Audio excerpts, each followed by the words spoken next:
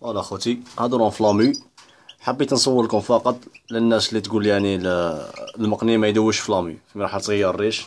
ما كاش منها كاع خواتي بي شوف بالعكس المقنين يحتاج إلى الدوش فين راح تغير الريش. يحتاج يعني ضروري ضروري ي- يدوش ها؟ باش حتى هذاك الدوش يساعد في فتح المسامات الجلدية.